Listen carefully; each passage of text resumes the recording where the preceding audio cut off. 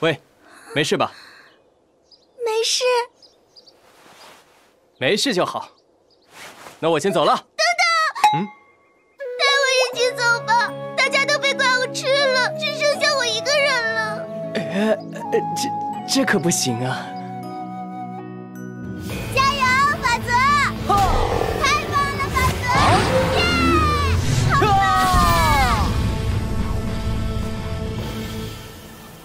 法则。嗯。这么多年，我一直想问你一个问题。什么？为什么你每次战斗都只能持续一分钟？呃，这个嘛，说了你可不要笑我哦。男串串超人是要找对应型号的女串串超人充电的，充电后可以有三分钟的战斗时间。但是我的插头是 DC 插头，很难找到和我同一型号的女串串超人，所以只能用便携万能充。但是这东西的电量。只够我战斗一分钟。喂，不是说好不笑的吗？人家没有笑了，一点都不好笑。喂，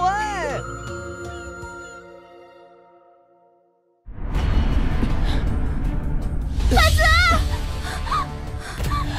没事吧？这个怪物太强了，我可能，我可能要挂了。我给你充电，你一定能打倒他。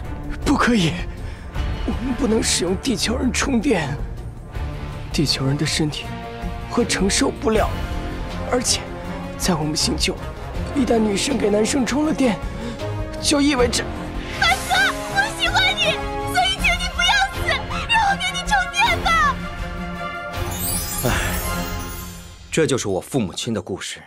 后来，我母亲因为生我而难产去世，我父亲悲痛欲绝，将我带回光之国。将我抚养长大，但是光之国很注重血统，歧视与外星物种结合而生的串串超人，所以我就一直隐瞒着我的混血身份。原来如此，现在都告诉你们了，你们也会歧视我吧？没关系，我已经习惯了。歧视？他说歧视？